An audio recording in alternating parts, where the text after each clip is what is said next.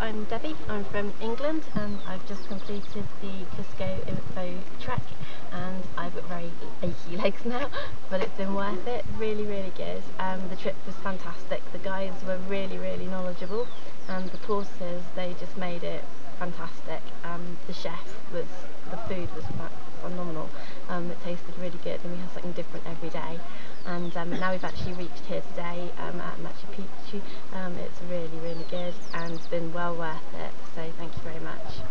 Would you recommend uh, Info Cusco to do this trekking? Definitely, yes, I'd recommend Info Cusco to everybody I see at home. thank you very much.